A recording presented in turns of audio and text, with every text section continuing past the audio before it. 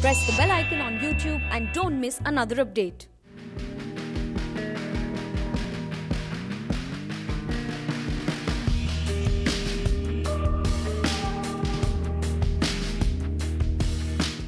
what COVID has shown is that the response of a government, whether at the center or the state level, is very different from in rural India and very different in urban India. In rural India, you have the panchayat system, you have the community health workers that um, uh, referred to. Uh, you have programs such as the midday meal scheme, which has been running so there is in rural India a delivery mechanism, uh, whether through counseling via the Anganwadi workers, the ASHA workers, uh, the provision of ration through the PDS uh, or through Panchayat. But in urban India is where I've seen, whether it's in Assam, in Guwahati, or in the uh, towns and uh, smaller towns of Assam, or in the capital of Delhi as well, how do you reach out to the urban poor? What is what is the mechanism for distribution ration what is the mechanism uh, for you know providing counseling to parents? So my first observation has been this big rural urban divide uh, in terms of delivering governance uh, secondly what i hear no doubt is the issue of nutrition and especially in a country like india where there's so many cases of malnutrition severe acute uh, malnutrition so many children under the age of five are uh, suffering from undernutrition, and it has tremendous impact on their uh, physical and mental development as well. So the, the rations that we are providing purely consist of rice and dal in most cases. So we're completely missing out on essential minerals, essential vitamins, things that are found in green leafy vegetables. So the entire system um, you know, of providing nutrition has been uh, was a major problem in the initial period because you had the grocery shops um, shut down, you had uh, breaking down in the supply chain of vegetables. And lastly, I might say that they are especially vulnerable communities uh, of children. Even children itself is a vulnerable community, but even within children, there are further more vulnerable communities. And i'm hearing from a lot of the uh, people who work on the on the ground is you know children with mental health issues children with physical disabilities. These are communities these are families which need constant access to outdoor activities need consistent access to medicine need consistent access uh, to uh, to clinics to doctors and, and, you can imagine the kind of environment uh, and how helpless a parent must feel, especially you know, a parent of a mentally uh, of children with mental health challenges or, of, of physical disability, when those resources are being cut off. So these are you know certain issues that have really come up, and what I do hope that you know that uh, uh, I mean it's easy to say in hindsight, but these are the things that we must learn from this experience and ensure that we improve our delivery mechanisms, um, ensure that we have a very much more comprehensive way of thinking uh, when a nation goes through uh, you know a future crisis like covid because we might we will pass through covid but there might be another health crisis or another virus which will you know in, in which people have to stay indoors and, i hope when that time comes we are much more better prepared so this is the time to really take stock, take lessons, and invest in in our health infrastructure uh, and think about uh, child welfare more comprehensively. From an urban background and working in uh, a city like Pune, my experience has also been the same. And in fact, in the cities, since we have a lot of uh, affected people who have uh, tested positive, uh, we have a lot of containment areas. Pune is one of the hotspots uh, as far as uh, the pandemic is concerned. And there are four, five issues that I would like to flag. One is, as uh, Gaurav rightly said, that it is our duty to make sure that we keep our children healthy and well nourished. Uh, Gaurav has rightly said only the dal, meat, uh, and rice has come through the ration shops. Uh, yes, they have got it free of cost, but what is important is nutrition nutritional food, and this is something that is totally lacking. Uh, schools are closed, and therefore the midday meals that they used to get is also now not uh, available. So this is a major problem. as I said even earlier, physical activity is also something very important for a healthy uh, future of a child, and that is totally a miss. The second point I think is uh, uh, reaching vulnerable children uh, with basic amenities like water, sanitation, and hygiene. Even in India as a whole, 40% of the world's population, also, and more so in India, we still lack the basic infrastructure of water and even soap to wash your hand. So we are talking about washing your hands, sanitizing your hand. Where does the water, clean water, come from?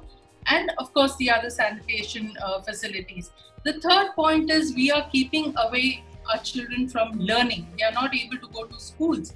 Now, there are some schools which have started online classes, but this is unfortunately not available to all. What happens to the children who go to the um, government schools? They don't have uh, an iPad or any other, even internet facilities for that matter, to be able to study uh, at home uh, through the ICT tools. So, this is a major divide that we see um, amongst children, and uh, uh, this is something that everybody is talking about. The fourth is um, families from poor economic background need support services. Government will have to make some social protection measures so that the people from the poor families have money in their hand. If they have no money in their hand, it's not enough to have just rice, dal, and wheat. They have to have money to be able to cater to the requirements uh, of their children and the family as a whole. And I think the fifth is we see that uh, of cases of child abuse and child violence. This is a major thing that we have to be concerned about.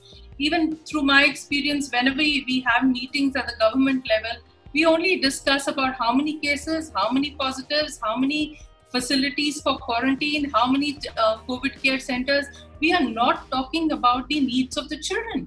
And this is something that we need to do because this is a hidden, hidden problem, a hidden pandemic eh, in so as to say, just as the WHO has called the children, uh, women's problems as a shadow pandemic, I would even say that the children's issues are also a hidden pandemic and therefore they need to be addressed. They cannot be brushed under the carpet and we have to talk about them and try to find solutions. उसमें चाहे पैसा वाले parents है या गरीब parents है, उसमें ऐसा नहीं है कि पैसा वाला पेरेंट्स बहुत अच्छा पेरेंटिंग डिस्चार्ज कर सकते हैं इसी प्रकार से चाहे अर्बन एरिया हो या रूरल एरिया हो तो ऐसा नहीं है कि शहरों का लोग बहुत अच्छे पेरेंटिंग का डिस्चार्ज कर सकते हैं, वो अपना दायित्व दे सकते हैं पेरेंटिंग मैं ऐसा समझता हूँ कि बच्चों को कोई गैजेट्स देना, कोई इलेक्ट्रॉनिक्स गैजेट्स देना, उनको कोई अलग अलग उनकी रिक्वायरमेंट जो भी वो बोले उसको वो फुलफिल करना,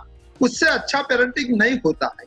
पेरेंटिंग मीन्स उसका जो अपना बेसिक कल्चर है, अपने जो बेसिक बुनियादी जो अपना कल्चर है, अपना अपना जो भारतीय का कल्चर है, उस कल्चर के ज़रिए उनको जीने का है, चाहे उनको सिर्फ़ रूम में रह के टीवी देखे, वो ज़रूर नहीं है। उनको ग्राउंड में खेलने के लिए भी जाना चाहिए। मैं समझता हूँ कि पेरेंटिंग में ऐसा जो गरीब लोग हैं, वो भी अच्छी तरह से करते हैं उनके लिए। एक दिक्कत यह होती है कि उनको कमाने के लिए जाना पड़ता है। वो they are not able to pay the attention वो ही एक दिक्कत रहती है, मगर उनकी उनकी गैर मौजूदगी में उनके जो ग्रांड पेरेंट है, वो वो दायित्व निभाते हैं। तो मैं समझता हूँ कि एक बड़ी बात है। दूसरे अगर मैं बात बोलूँ पेरेंटिंग की तो डिलीवरी होने के बाद डिलीवरी होने के बाद जो शुरुआत शुरुआत का जो लैक्टेशन आता है फ़र्स्ट लैक्टेशन आता है दिस इज़ वेरी इंपॉर्टेंट और मैंने देखा है कि चाहे रिच लोग हो, पैसे वाले लोग हो, या चाहे शहर के लोग हो, उसको डिस्कार्ड कर देते हैं, वो उसको जो फीडिंग नहीं करवाते हैं। सबसे अगर कोई प्रोटेक्टिव फीडिंग है तो माता का पहला जो है लैक्टेशन वो होता है उसकी वजह से। बच्चों का एक प्रकार का इम्यूनिटी उनको मिलता है। तो एक आज सरकार भी उसको प्रमोट कर रही है, मगर उसको हमें लोगों तक ले जाना चाहिए। मैं दूसरी बात बोलू, जो आजकल शहरों के लोग वो they are avoiding the breast feeding मैं समझता हूँ कि वो गाँव में ब्रेस्ट फीडिंग आज भी वो ब्रेस्ट फीडिंग चलता है। ब्रेस्ट फीडिंग अगर उनको मिलेगा तो उनको सही रूप से बच्चों को न्यूट्रिशन मिलेगा। और अगर उनको न्यूट्रिशन मिलता है उनको कल्चर मिलता है। उनको बेसिक अपना जो भारतीय तक का जो कल्चर होता है, पिताजी का कैसा, जैसे सुबह में उठकर माँ बाप को आप आप उसको नमन करो। सुबह में अच्छी तरह से आप एक दूसरे को सम्मान से बुलाओ अगर कोई अपने घर पे कोई मेहमान आता है तो आप उनको पानी का एक ग्लास दो। मैं समझता हूँ कि ये एक बेसिक कल्चर है। That is a very important in parenting also और आपने जो बोला कि जो आज आज कोविड की वजह से ऑनलाइन जो होता है, जो जो आज पढ़ाया जाता है बच्चों को। मैं समझता हूँ कि वो बच्चों को छह साल के बाद ही बच्चों को पढ़ाना चाहिए, जो शुरुआत में प्री स्कूल और जो केजी का हमारा है। मैं समझता हूँ कि उनको बच्चों को पहले चार या पाँच साल उनको खेलने का पूर्ता मौका मिलना चाहिए, बाद में उसको होना चाहिए। आज जो ऑनलाइन टीचिंग की वजह से बच्चे को कभी कभी दबाव भी रहता है बच्चों को। तो मैं समझता हूँ कि आज उन पर जो ऑनलाइन टीचिंग का बहुत बड़ा बोझ ना होना चाहिए, उनको जितना उनको एब्सॉर्ब कर सके, इतना ही देना चाहिए। हमें उनके बारे में सोचता है, बच्चों को बारे में सोचना है। और बच्चों को अगर हम सही तरह से उसको डिस्चार्ज कर सकते हैं, बच्चों पर एक भरोसा दिलवा सकते हैं। आजकल बच्चों के पर जो जो लॉकडाउन में रहते हैं तो उन पर एक प्रकार का उन पर एट्रोसिटी या अत्याचार भी होता है। वो पेरेंट्स के ज़रिए भी होता है। मैं समझता हूँ कि इस बात को हमें ध्यान में रखना चाहिए और जब हम घर में रहते हैं, तब बच्चों से हम, उनको हम पूरा मौका दें। उनके क्रिएटिविटी को हम बाहर लाने का उनको पूरा मौका दें। मुझे लगता है कि ये बात सबसे ज़रूरी है।